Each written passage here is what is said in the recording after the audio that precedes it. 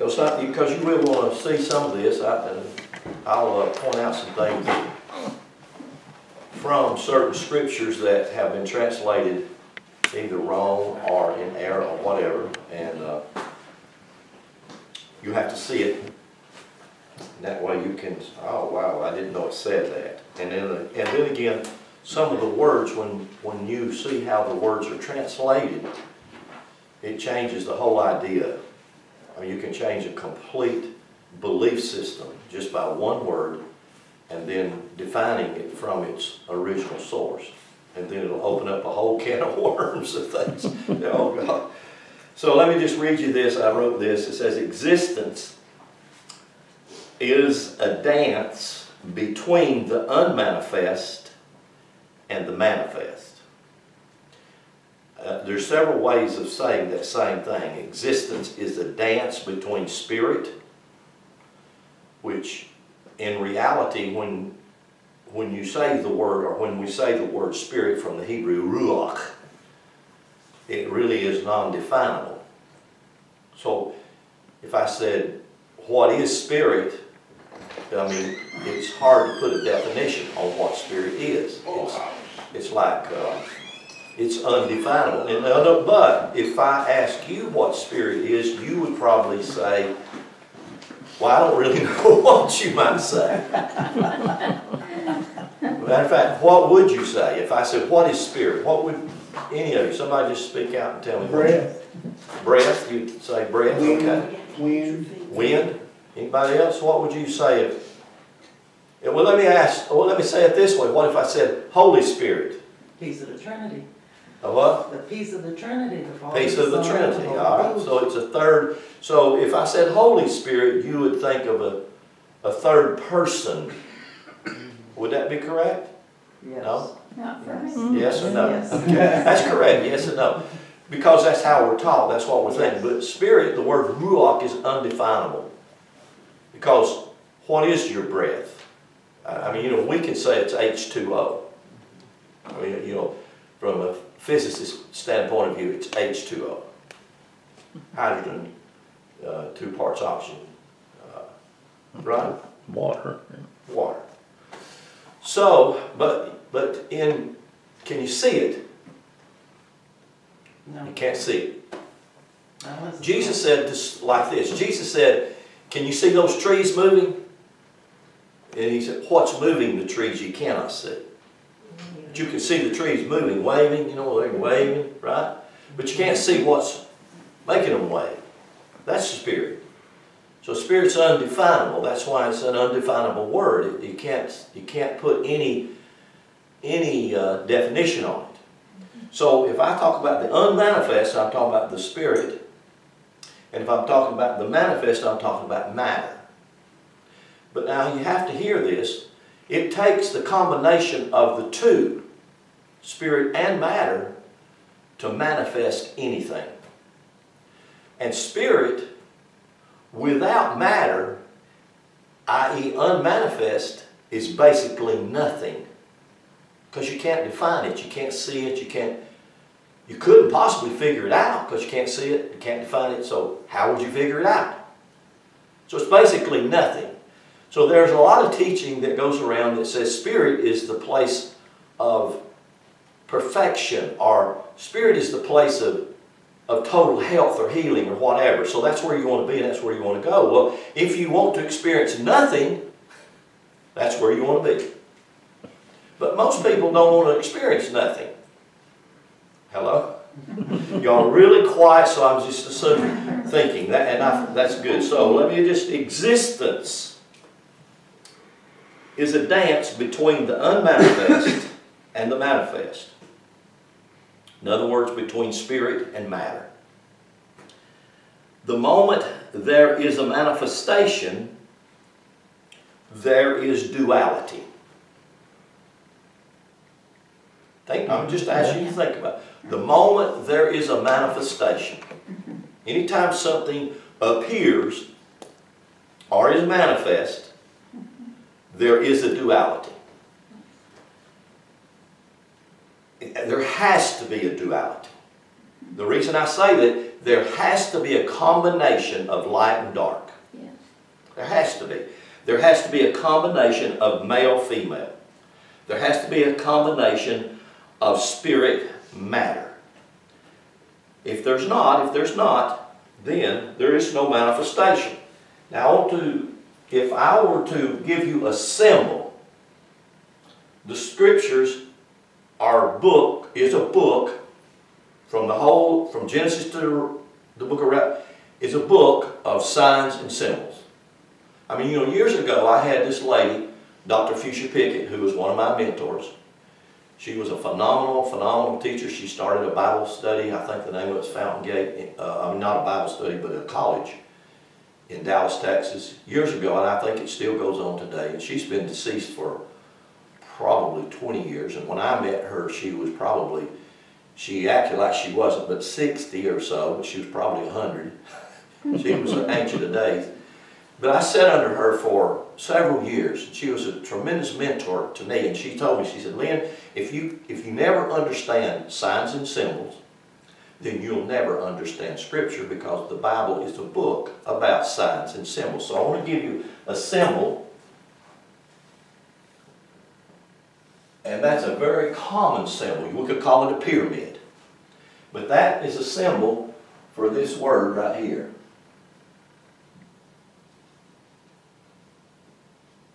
Fire. That's the symbol for fire. Fire is a word that can be used for spirit. Spirit is fire. Fire is another word that can be used for light, L-I-G-H-T. God is light. I, mean, I, I can give you another scripture, Exodus, it says God is fire, consuming fire. Hebrews, Hebrews 12, Hebrews 13 says the same thing. God is the consuming fire. Or in other words, you could say fire, light, spirit, that's its symbol. A pyramid. And so when you go to Egypt and you see the pyramids, you can see the pyramids, but you cannot see the foundation of the pyramids and what's under the pyramid. Every pyramid has a very solid, deep foundation. That's material, matter. And underneath that deep foundation in every pyramid is a stream of water. The symbol for water is that. This is the symbol for fire. This is the symbol for water. And when you take these two symbols, the pyramid pointing up and an upside down pyramid, and you put these, these pyramids together like this,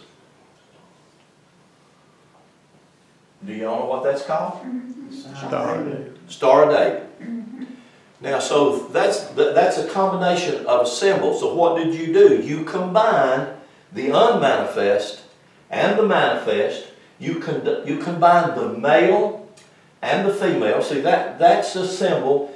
And you know, I, I sometimes I have to talk about things that are sexual, but I'm not trying to do it in a in a way that is dirty or things that needs to be talked about. That's the symbol for a phallic, or that that stands up. This is a symbol for a yoni, or the womb that that opens up to that. So these have to be combined. There has to be the combination of those two, or there is no creation. There's no procreation. There's no life. Everything in nature is doing that.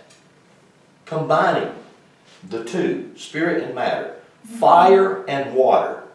And so when, you, when we see that, and so when I'm talking about that, there's a dance between these two. And that dance is a dance of duality. And, and many times we think about duality in a negative way, like it's bad. You know, you don't want to be divided. And that's true because what you want to do with duality is combine the two so that they become one.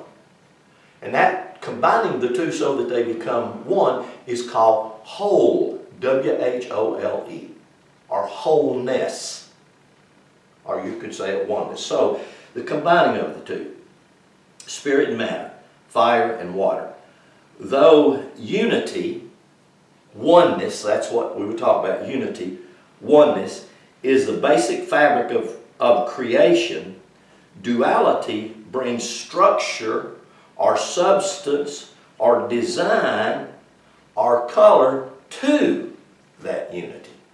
If that unity just stays as oneness, or stays as spirit, or stays as unmanifest, or stays as no thingness, then there is nothing.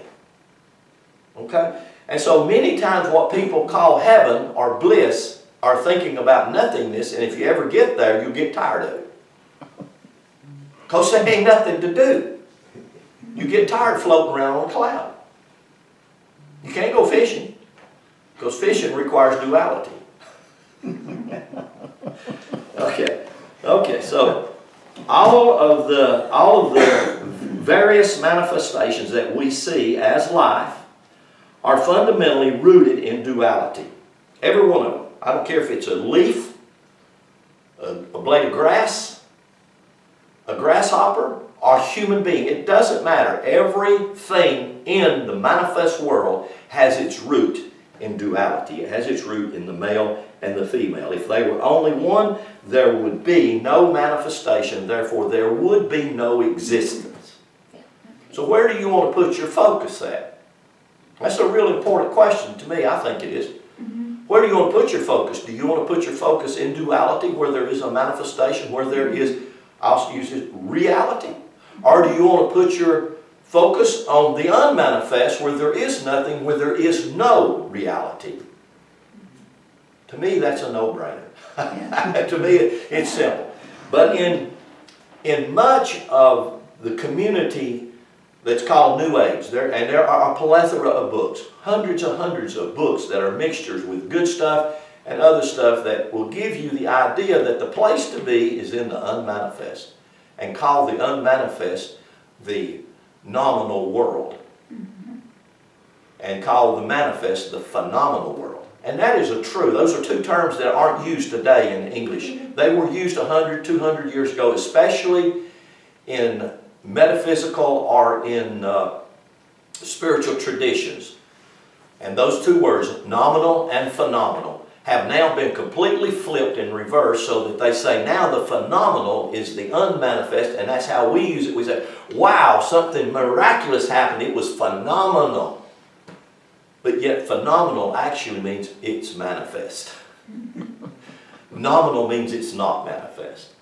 So it's amazing how, and to me, words are important and I look at words and I like to do, I love to do synonyms on words. I love to do research on words to go back. What did the word mean in its origin? What was it originally intended to mean? And when I do that and I go back and I think, whoa, have we got way off base? And I think sometimes being way off base was a purpose designed by religion to get us way off base so that we really don't know who we are, what we are, and what we're about. So for me to find out those things is, is vastly important. So what I want you to do, if you have your Bible, go with me to a, a very familiar passage of Scripture. I've been using it for the last few weeks. Genesis chapter 2 and verse 7. Genesis chapter 2 and verse 7.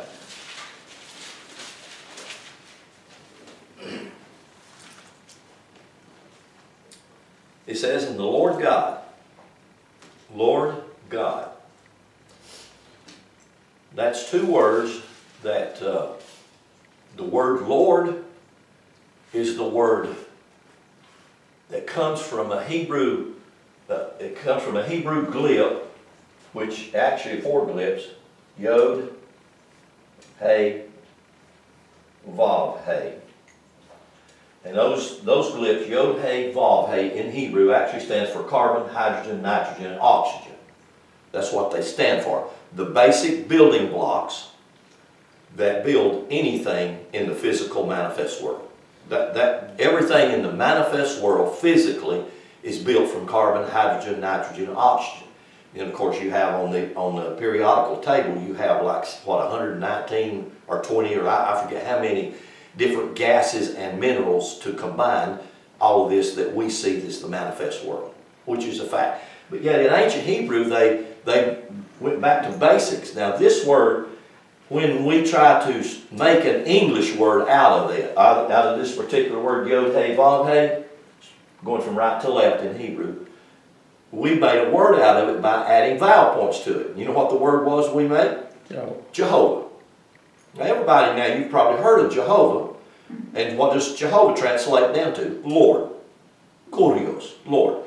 Now who is Lord? Well, Sarah called Abraham Lord, which was correct. And it's, it's just like every wife should call her husband Lord, which is correct. She does, she goes, Lord, But what are listen doing? to, listen to this. Every, yeah, I see that. No, no, no. Every husband should call his wife Lord, which is also correct. Because see, we have taken that one word Lord and we've made a religious term out of it and we've used it in error. And we don't know that because we've been taught to do that. So I'm not saying it's anybody's fault. I'm not blaming anything or anybody. I'm just saying that actually just simply means manifest. So that's exactly who we are. We're carbon, hydrogen, nitrogen, oxygen. We're manifest. Every one of you is manifest. I see you. Mm-hmm. I know you're manifest. You are here. Hallelujah. You are here and you're awake and you are aware. You're manifest, right? Right. And that's a good thing. That's not a bad thing. Right. So you see this word Lord and then the word God. The first time that you see that combination of Lord God is in verse 4 of Genesis 2 4. It says, And these are the generations of the heavens and the earth when they were created in the day that the Lord God. First, pli- first time, the first place that you see that word Lord, which is this, this Yod Hey Vav Hey, which carbon, hydrogen, nitrogen, oxygen, in other words, the basic building blocks in the manifest world to build something, and then the word God. That's the Hebrew word Elohim. And that word God, or Elohim, which is used 32 times in Genesis chapter 1, actually means the astrological powers. Or I could say the 12 segments in the, in the astrological wheel or the circle. When I, when I say that, so I, let me try to make that clearer. If I draw the astrological wheel, you start, that's the basic, that's the cross in the circle of infinity, okay? Timelessness and time. The cross means, represents time. It's where the vertical has married itself in the horizontal. That's time. And the circle represents no time. So what that circle with the cross in the middle of it represents is no time has moved into time. Now, that, that's a conundrum, right? Mm-hmm. That is a conundrum. No time has moved into time. Mm-hmm. And so that's the four basic building blocks where uh, you put these right here, carbon, hydrogen, nitrogen, and oxygen. It's the foundation of the astrological wheel, which you start out with Aries, Taurus, Gemini, Cancer, Leo, Virgo, Libra, Sagittarius, uh, Capri, let's see, Sagittarius, uh, what's the next one? Capricorn, Capricorn, Sagittarius. What, I mean, I'm missing one. It's, both of them starts with S, Sagittarius. and- Anyway, Scorpio. Scorpio, there you go. Scorpio, Sagittarius and Scorpio. Capricorn, Aquarius, and Pisces. That's your 12 astrological signs. That represents the Hebrew word Elohim. Or in other words, God. So, wow, you say, wow, Brother Lynn, you mean God is the astrological wheel? Absolutely, yeah. See, there, there's several different Hebrew words for the one word God in English. We have the word Elohim, which represents all 12 of these powers because it takes all 12 of these powers to create you. And then there's the word, if you segregate just one of these sections of the pie, it's called El, which means power. So every one of these sections, 12 sections, is power, filled with power. And that's the Hebrew word El, It's also translated for the Word God. And there's several other words, but when you talk about Elohim, you're talking about the entire astrological wheel. That's the timeless. Move into Jehovah, that's matter. And so that's the same as this Star of David. It's the same thing as fire and water being merged together. So when you see that word Lord God in the combination of the two words, that's what you're talking about. You're talking about that that is spirit has moved into that which is matter for creation's purpose. Do you understand that? Okay. Okay, so, and I know that's a little different, and I know that's sometimes it's difficult. So verse 7 again, and you, you don't see this as much as you think you would, other than right here in the first parts of Genesis, maybe the first 12 chapters, you'll see that combination of Lord God, and then you won't hardly see it that much the rest of Scripture. You'll either see them use the word Lord, when always use it, when they use the word Lord, it's always referring to the manifest.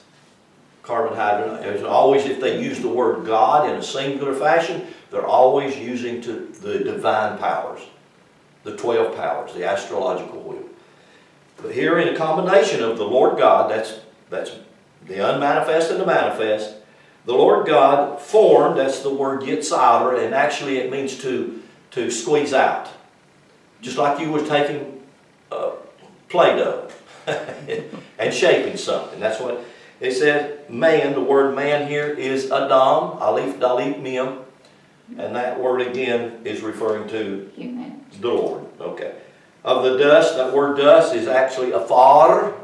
And the word afar in Hebrew means particles of light. I could say dust, D-U-S-T, light dust. And now that quantum science actually found this out. They proved this beyond a shadow of a doubt that back in 1936.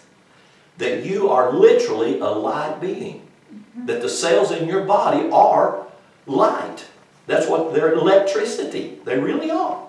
So actually, all the all the 60 trillion to 100 trillion cells that make up your physical body are light particles. Every one of them. And quantum science knows that today, and the medical field knows that today. The Christian community don't know that today because they, they thought you, oh, just, you just made up dirt. You're just a dirt bag. That's what they call us, dirt bags. but you really are not. You're really a light bag. You're really, you're really an amalgamation of light particles. All kinds of colors of that light make up who you really are. And that's what this is saying. So the dust of the ground, the word ground don't mean dirt. It comes from the Hebrew word adamah. And many times the word that you think of for ground would be in the Hebrew eretz. But the word adamah comes from the root word adam. Adamah just simply means miracle substance.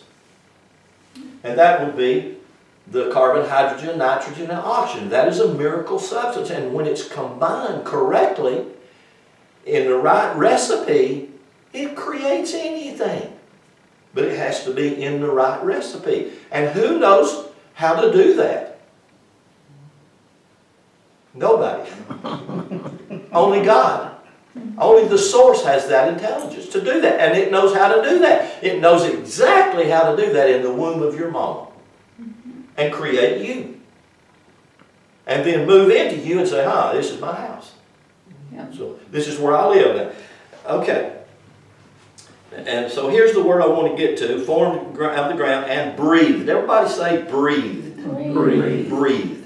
And that's, uh, that's something that I would like to talk about. He breathed into this man. And we're going to look at, at what happened when he, this breath, this exercise of breathing is accomplished, then uh, we have we have voila, we have life.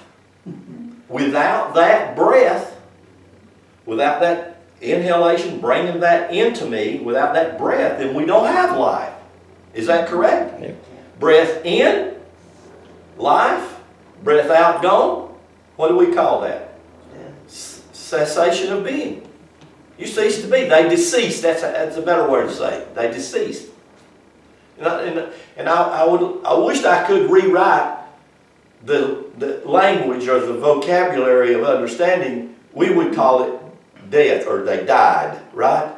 But if you remember two or three weeks ago, a month ago, I told you that's, uh, that's the wrong use of the word die. Because when you take the word die, like Jesus, or like Paul in, the, in Corinthians, except a grain of wheat fall into the ground and die. Now ask yourself this question. If a grain of corn, or tomato seed, or squash, or okra, if it ceased to be when you put it in the ground, would it produce? Couldn't produce. So actually, what did that grain do when you put it in the ground? You put it in the environment that's designed for it to do something. And what is the environment of the ground, the water, the moisture, and the warmth? What is it designed to do? It's designed to cause that seed to become what the seed is designed to be. So the seed didn't die, the seed began to become what it's designed to be. So if you put that ideology in, your, in yourself and you realize, if I die, actually I'm just going to start being who I'm designed to be. You see what I'm saying? So, a proper use of the term and understanding of the term helps us to move ourselves further on in what we're supposed to be because every one of us have been planted as a seed of God. What does that mean? As a seed of God, then I must die. I.e., I must become what I'm designed to be. And our problem has been we have not known that we are to become what we are designed to be, so we don't know how to become what we've been designed to be. Right? You follow what I'm saying? So our whole life is about becoming. And you know, the sad thing about that is that really doesn't even happen in anybody's life until they're around 16 or 17, 18. And then they have the potential to start. There are very few people that start becoming at a younger age because we're too, we're too overwhelmed in the phenomena of the sensual self. And it is. And I'll talk a little bit about that. So, breathed into his nostrils the breath of life. So he breathed. Now I want to put the word breathed up here. Uh, it's the Hebrew word non fe. I believe it's the che, uh, breathed. Breathed, yeah. Non fe cheat. And the reason I put this up here, I'm going to put several other words up here. This is breathed. Breathe. And the non has a 50 value. And I'm, I just do this numbers because, see, you can manipulate words. You can uh, twist words. And they've done that to us. And that's why we have so many false definitions of words. But you can't manipulate numbers. Numbers don't lie, period. I mean, if your bank account says zero, I'm going to tell you, you can bet that. You can go to the bank on that. If it says zero, it's zero. Numbers don't lie. Uh, this right here has an eight, uh, has a, uh, child has a 80 value, and this right here had, had I'm sorry, Faye child has a 8 value. So if I combine these numbers and I put them together, I would have 80 and 50 would be what, 130? Huh? Yeah, Is that right? 138, would that be correct? yeah, Is that correct? that's correct. Mm-hmm.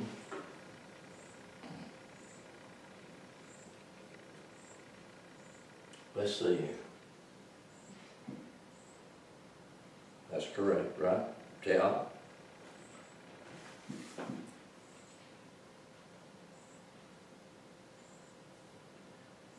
Okay. And so that word in Hebrew is na, that's the noun, fe, che'ah. So it's pronounced nafia. That's how it's pronounced, nafia. And so I'm going to share several words with you, three particular words with you this morning. That word, nafia, and, and it becomes the word breath. It means to inflate. It means to become. That's what it means. So you can't become until you've been breathed. But when you've been breathed, now you can become. You follow that? Okay? So that, that's, that's what's happening. We want to do that. We want to become, and we want to be breathed. Now, I'm going to come back to this word, this passage. So you, but I want you to just go across the page, or come down the page to verse 20, verse 21.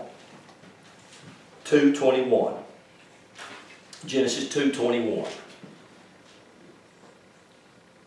Everybody found it there? Yeah. It says, And the Lord God caused a deep sleep. Deep sleep. Deep. The word deep in Hebrew is, and I, I know sometimes this gets to be a lot. I'm just, just hanging here with me. The word deep is tardama.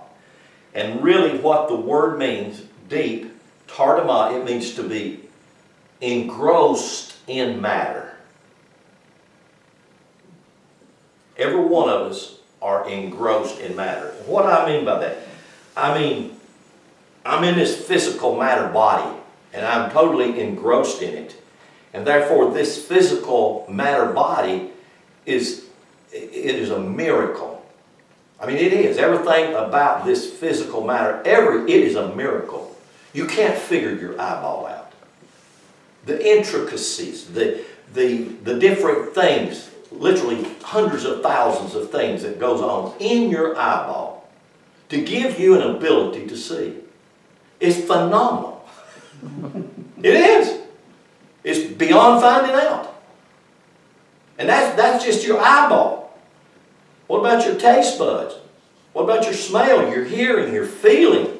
See, everything about you is so beyond finding out. It's just phenomenal.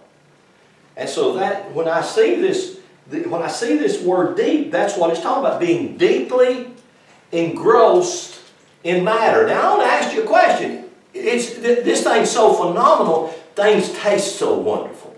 Is it easy to get addicted to how a thing tastes? Yes. oh, of course. Is it easy to become habitual by how something smells or how you see it? Oh, absolutely.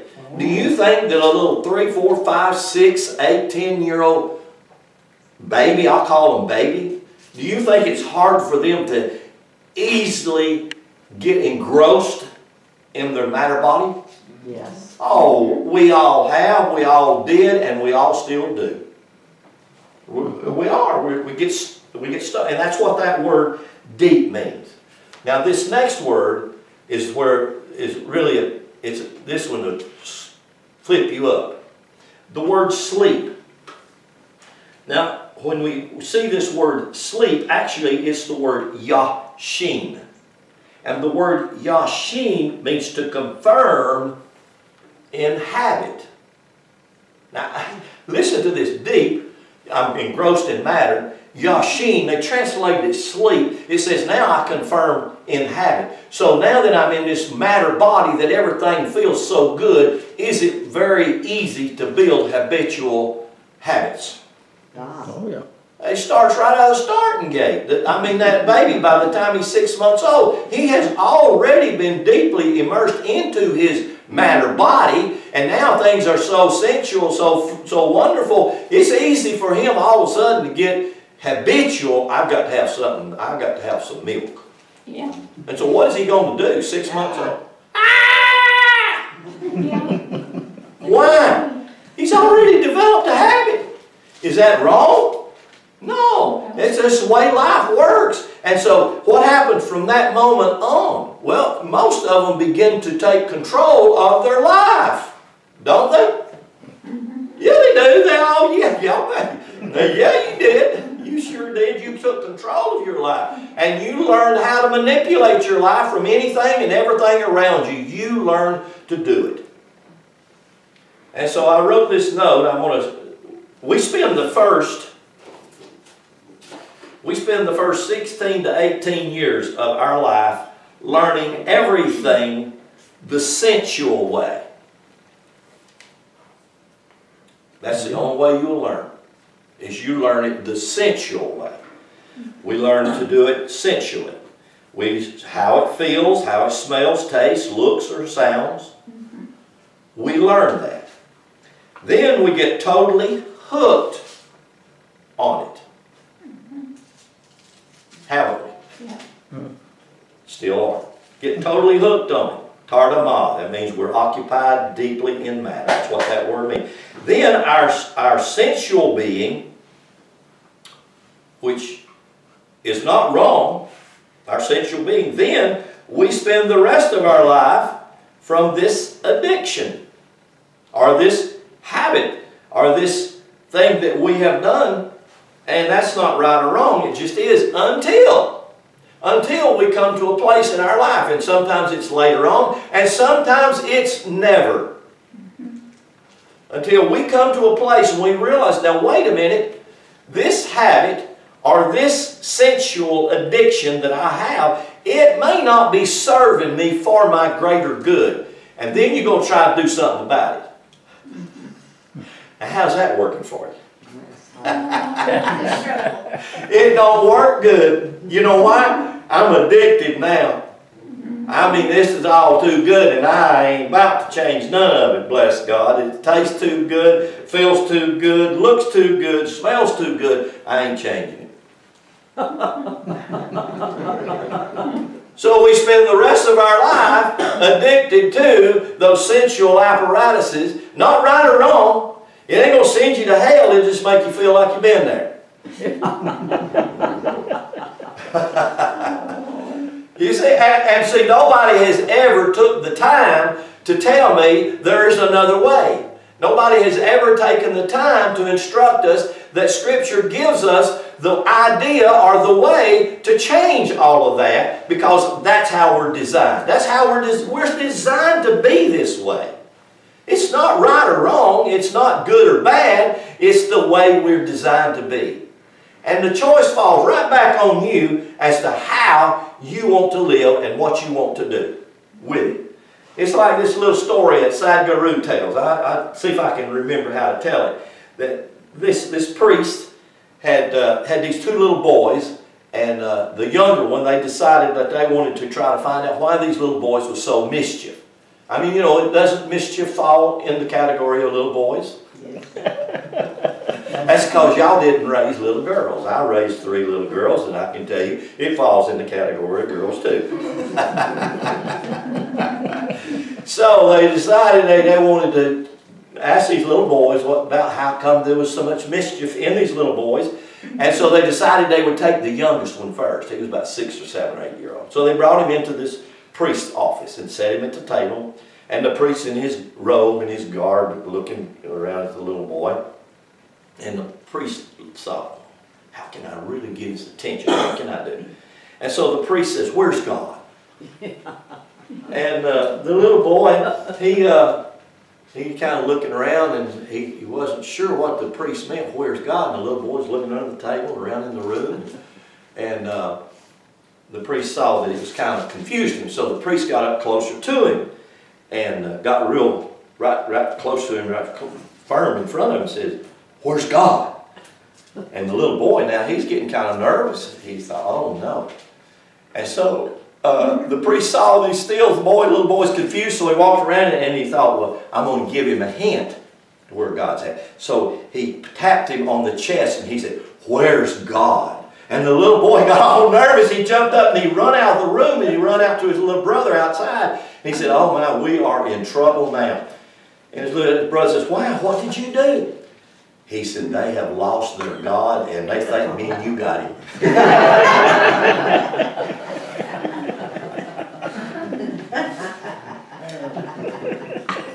It's a good picture of what religion's done to us. Yeah.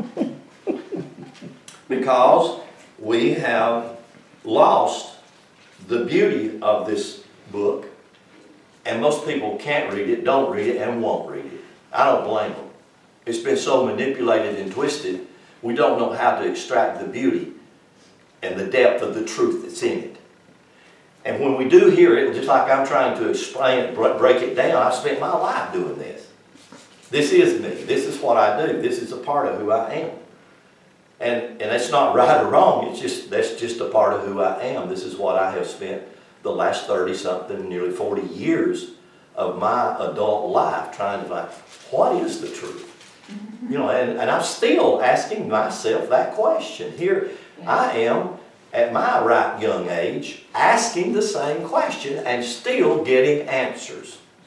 And I have found out that probably if I live to be 100, 110, 120 year old, most likely I'm going to still be digging and asking these questions. What is the truth? Why? Because my life is on a quest that I would like to know what the truth is. And I have found that hidden in these tremendous stories is the truth, but it's not easy to find, and it's sometimes it's very difficult to extract and to pull it out. So when we talk about deep sleep, people thinking, and they and I know I know that there, there are a lot of schools of thought that says that you're still asleep uh, because God never woke Adam up.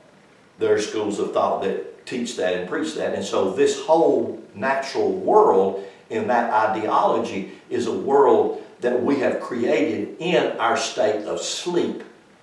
And that's just not true because what the word sleep, if you see it, it hadn't got anything to do with what I hope y'all did last night. Did y'all get any sleep last night? Mm-hmm. Maybe a little bit.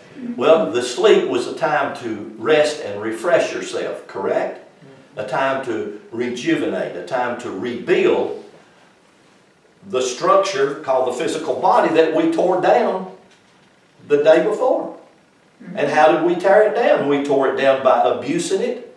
We tore it down by uh, working it, by feeding it, by anything that the thing's addicted to, gave it to it.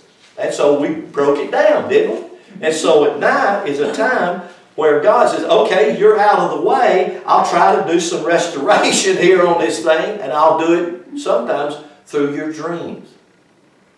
Have you ever had a dream and wake up in the dream and you're just in a nervous sweat? So what was happening? You weren't really doing anything because you were asleep, but God was working the glandular structure of your body. Remember last week we talked about the glands. God was working the glandular structure while you were asleep to release certain adrenalines, certain hormones, certain oils. Remember the Christ, the Christos, releasing those oils in your body to do restoration work on the body that you and I are destroying. That was sleep. I pray to God you're not asleep right now. Because if you are, you're not going to hear a word I'm saying. So, the whole school, an ideology that says that we are just in a sleep, and really when we win our wakefulness is when we go into the unmanifest world. And if you go into the unmanifest world and think you're going to wake up there, I'm sorry, you're in for a rude awakening. it's not going to happen. That's not where it's at. So, having said that, I want you to go with me to uh, back back over to Genesis 2 7. I mean, back to verse 7, we was verse 21, deep sleep. Back to verse 21, it says, And the Lord God formed man of the dust of the ground, breathed into his nostrils the breath of life, and man became. Everybody say became. Became. He became. Hayat. Actually, it means to exist. It means to, to the word became means to be yourself. To, to exist or to be yourself. Mm-hmm. Yourself. Well, who is yourself? You could say myself is who? I? Mm-hmm. Huh? Would you say I? Mm-hmm. Could you say I am myself? You really are. I I am yourself. Let me, show you, let me give you another word that we have, we have taken. The word I and self are ancient words. They go way back. Like for instance, the word I in Hebrew is ane, ani, and that word I, ane in Hebrew, ancient Hebrew, go, this is going all the way back to Egyptian stuff, thousands of years. It means I, and the, the, the newer English word that we've come to use is ego. Who is your ego? Your ego is your I yourself. That's who your ego is. It's your I mm-hmm. It is yourself. Yeah. Now, many times we think, wait a minute now, is my ego, mm-hmm. that part of me that's destroying my life. Could be. But it could also be the little child that never grew up, that needs nourishment, needs love, and needs training. Right. And that's every one of us. Yes, So right now, when I'm talking about your ego, your I, yourself, I'm talking about that part of you that needs love. It doesn't need to, you know what, we, we have, a lot of people think, well, I'll just stick my ego off in the corner or in the closet. That's wonderful and fine until somebody really pushes your button. Do you know what I mean when I say really pushes your button? You're going down the road, you're minding your own business, you're traveling exactly the same speed, and some guy or some woman, or it's always a woman does it for me, pulls right out in front of you. I mean, don't say you just pull, and you just slam on your brakes, and your button got pushed, didn't it? In other words, your ego popped right out of the closet, and what did it do? What did it do? That- that- Now, a lot of you drew up beside him and you did that, that one finger thing. California way. Uh, you, uh, yeah, you, uh, use that F word. You did that. hey, does it happen?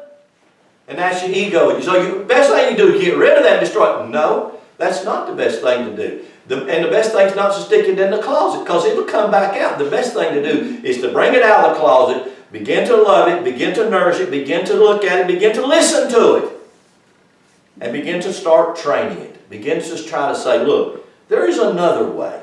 There's a better way, and this way will bring peace, and it will also bring wholeness, and it will bring maturity. Right. It'll grow us up. Or you can be 70 or 80 or 100 year old and still have that ghost in your closet. Mm-hmm. Most of us do. It's just a matter of getting it out, bringing it out so that we can train it, so that we can teach it, and we can bring it to the place that it should be. So, this says right here that man became a living. Everybody say living. Che, this word che-ah, living, che-ah, and actually it means to be whole. Everybody say be whole. Be told. means to be complete, be whole. And it means to uh, be, to, to, uh, to uh, be saved. Same thing, that's what it means. Cheah in Hebrew. Cheah, it means to be whole, W-H-O-L-E, be saved. Now, I want you to go with me, just hold your place because we're coming right back over here to Genesis 2. Go over to the book of James in the New Testament, toward the back of your Bible. Just go to the index and it'll tell you what page, and go right there, and you'll find the book of James. The book of Hebrews, and it's the next door, the book of James.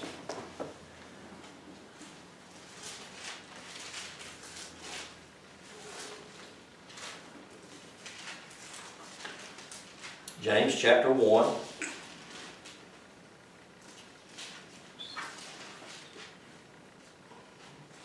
Everybody got it? James chapter 1, look at verse 21. Wherefore lay apart all filthiness and superfluity of naughtiness, and receive with meekness the engrafted that word engrafted is inborn, and that's that's what I'm trying to do. I'm trying to in, engraft or impart mm-hmm. into your being seeds of truth. In other words, these seeds of truth are inborn mm-hmm. in you, and, and they'll they'll produce life. So that's what it means when it says the engrafted word, the engrafted word, the inborn word, which is what? Which is what? What does it say? Which is Able to Able save what? save. Now, Jesus came to seek and save. Now, in, in, when you turn to the New Testament and you start hearing that word save, what do you think? Born again? You think coming to it, you think about coming to an altar? You think about asking Jesus into your heart? Yeah. Is this correct? You're thinking about now, what I need? I need to get saved from what? Saved from what? I need to get saved. From yourself? Or from the devil. I need to be saved. The word, the word in Greek, that word right there, save, which is able to save, or when Jesus says that he came to seek and save, same word. The Greek word is sozo. The Greek word sozo means exactly the same thing as the Hebrew word cheah, living. Behold, and that's it means the same thing right here. It means to be whole. It means to be complete. It doesn't mean to pray a prayer, ask something into your heart that you've already got in your heart, and think that you are saved. Mm-hmm. And that, the church is filled with this. It, it's the gross error. It's, it's really a sad error. Every one of us are seeking wholeness. Wholeness is to bring your ego out of the closet and love it and nurture it and train it and teach it how that it can be. And notice what it says, it's able to do what? Save your what? So, It's able to save your soul. Now, go back with me to Genesis chapter 2. Let's look at that same word, soul.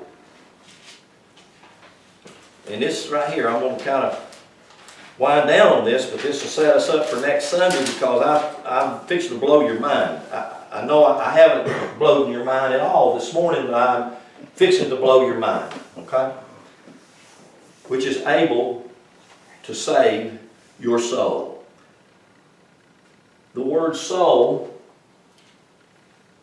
the word soul right here, let's just, let me just put this word on the board.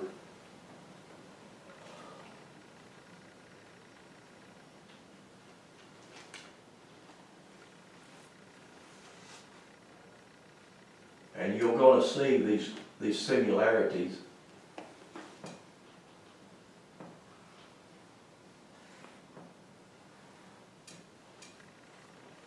Okay? That's the word for soul. You see the similarity in these two words? The word breath and the word soul? The only difference is the last glib. This one has a chet, this one has a sheen. That's the only difference in those words right there. The soul and the breath. Now go with me to Genesis chapter 3.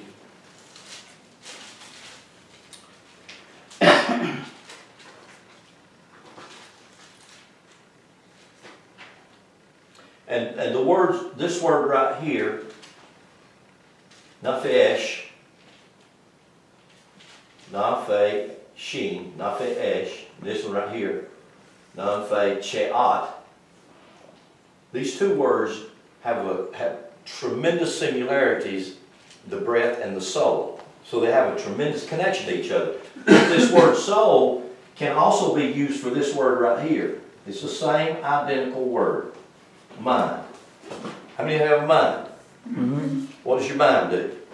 think, It- Your mind's a thinking machine. It- and that's not wrong, that's just what your mind does. Mind thinks, that's what mind does. Now, mind don't just think. Did, did you realize mind has a filing cabinet? It's called memory. Your mind stores your memory. Your memory can serve you or haunt you. Mine does. Your mind will help you or hurt you. Mine does. So that's what, that's what your mind does. But yet mind is a gift that you have. And so you can let it do either one. You can let it serve you or you can let it hurt you. You can let it help you or you can let it haunt you. It's totally up to, it's, it's up to us. See, God gave us all this and, and the thing about it is, how many of y'all remember this? And I, this is probably not a good phrase, that God's not an Indian giver. Yeah. And that's a real bad phrase because of the, the trying to say that Indians uh, Yeah. that, in other words, actually the truth is God gives you something and God don't draw it back. That's the truth of the matter. In other words, God gives you something, and listen to this, when God gives you something, God don't judge you for using it. If God gave you a free will, do you think God's going to condemn you and damn you because you use it? Huh? What does that mean, God gave you a free will? It means God gave you the ability to make a choice. So you can choose whatever you want to choose, and God honors that. God honors that. So if you make a choice and that choice is not serving you for your greater good, God honors that choice. Can you change it? Anytime you want to. Anytime you desire, you can change it, and God will empower you to do the other. So you have to remember that, and it's not right or wrong. I, I realize it's difficult for us to understand because we think, oh, if you make wrong choices, then God will, God will just beat the hell out of you. God will send you to hell. God will condemn you. Well, that's ridiculous. For a God to give you this ability to make a choice and then damn you for making a choice. Who in the world wants to serve a God like that? I don't have, that's schizophrenia. No, I wouldn't do that. Now here's, this is going to be, this is going to be a, another place that's kind of difficult here. It says in Genesis 3, 1, it says, Now the serpent. Everybody say serpent. Serpent. Serpent. Nun. Let's see, how does that, how does that spell?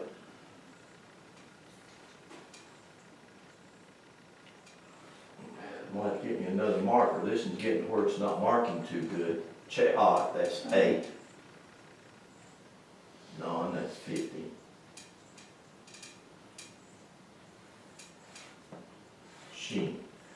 This is the word for serpent.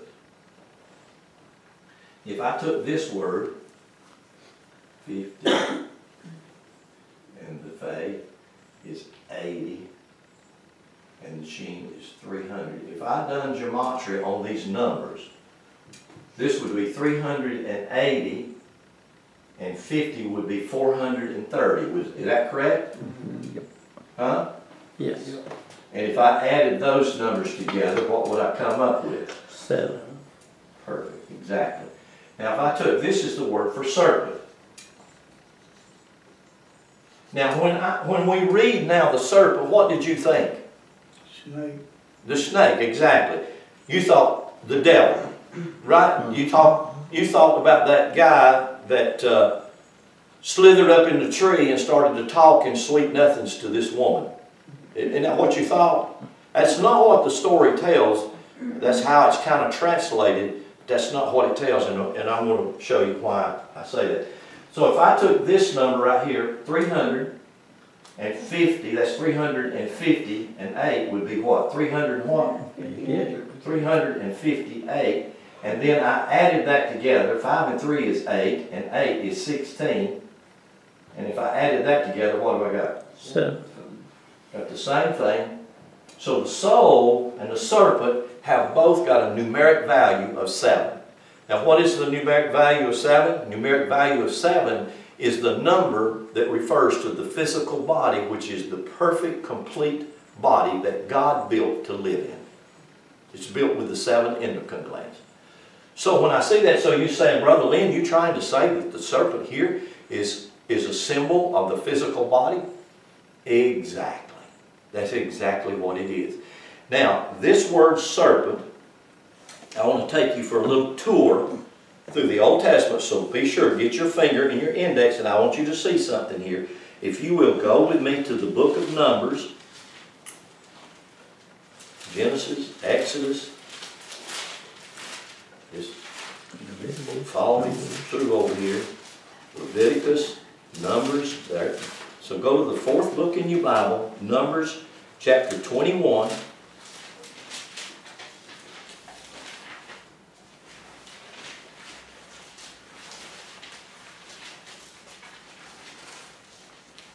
Everybody got it there? Mm-hmm.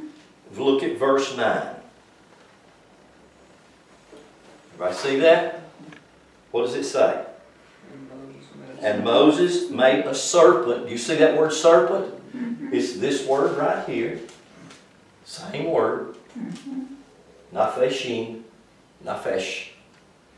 And Moses made a serpent of brass and put it on a pole. Hold your finger right there and go with me quickly in the New Testament to the Gospel of John, Matthew, Mark, Luke, and John, chapter 3. John chapter 3.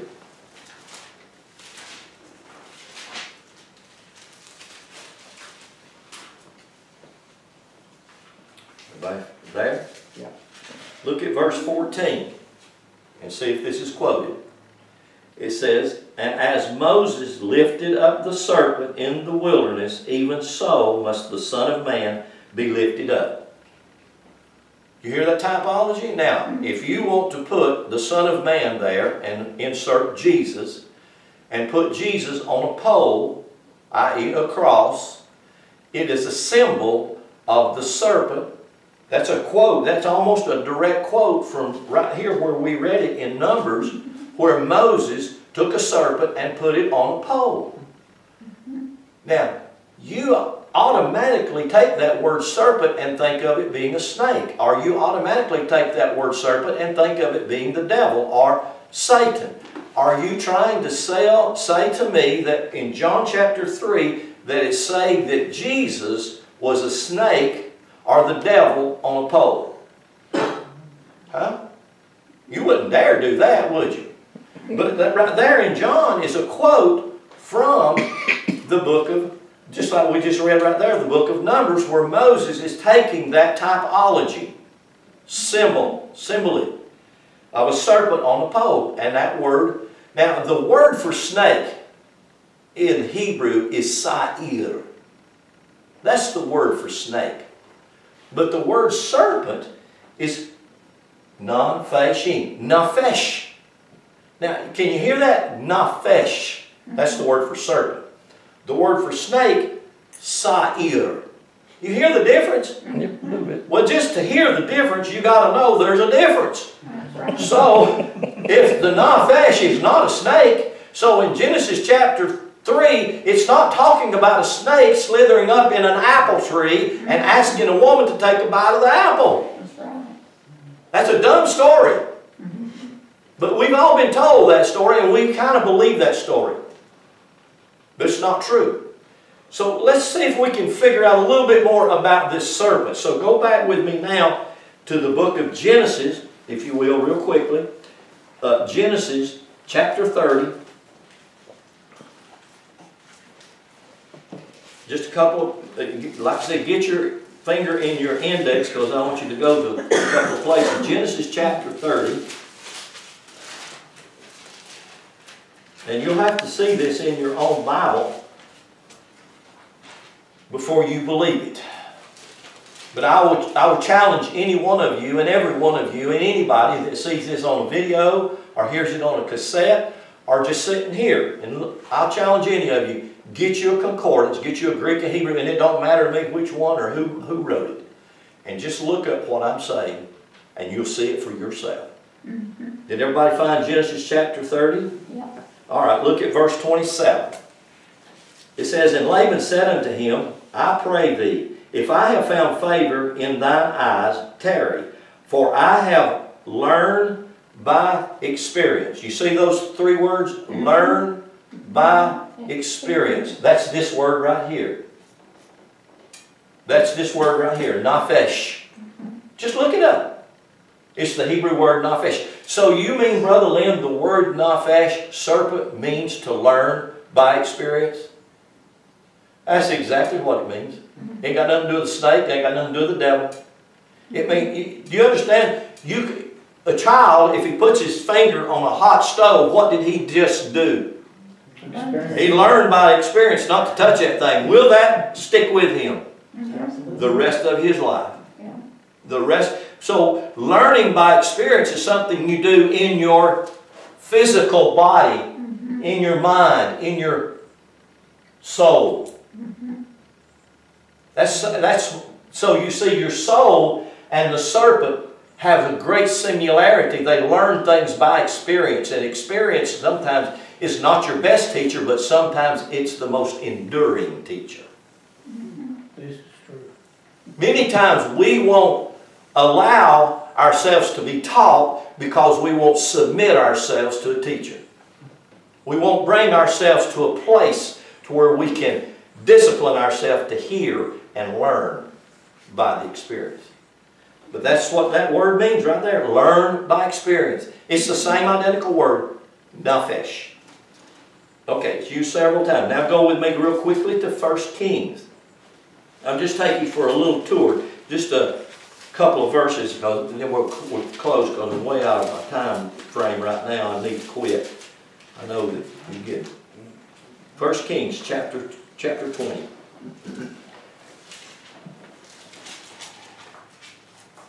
Maybe I, I'm just picking out a few things that, uh, we can see. First Kings, everybody there, chapter twenty? Hmm? Yeah. Yep. First Kings, chapter twenty, look at verse thirty-three.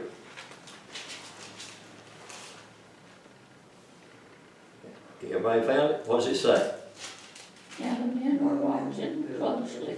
Okay, I'm not sure what translation you're looking for, but it must be a New American Standard. Okay, I thought so. King James, everybody looking at King James, says now, the men did what? Diligently. The men did diligently observe. You know what that word diligently observe means? It's the same word serpent. Same identical word. What does the word nafesh, nafesh, what does the word mean? It means to learn by experience. It means to diligently observe. You see, if you're diligently observing, you that means you are looking diligently at what I'm showing you and you are observing it, and guess what's happening from that? You're learning. You're learning. That word, diligently observe, is the Hebrew word nafesh, serpent. And if I read it that way, now the men did serpent, it wouldn't make a bit of sense, does it? Well, see, it don't make a bit of sense when you read Genesis chapter 3, 1, and says, now the serpent, and you think of a snake on a tree. But if you realize that word means to learn by experience and to diligently observe, because it's in diligently observing and learning by experience that you begin to train yourself so that you can be what God designed you to be. And that's your whole purpose of being in this dimension. Is to be what you've designed to be. And without that, if I'm not being what I'm designed to be, guess what? I find myself unhappy. Or I find myself trying to get happy being some, doing da da da da. Rather than to be what I've been designed to be. So, you can take that, put that in your peace pipe and smoke it, or hash pipe, or whichever kind you got and see how that works for you. But think about it. Just think about these things, because we're gonna, we'll come back here next Sunday and we will pick up and go a little bit deeper into this because it, uh, it does, the rabbit hole does get much, much deeper. Okay?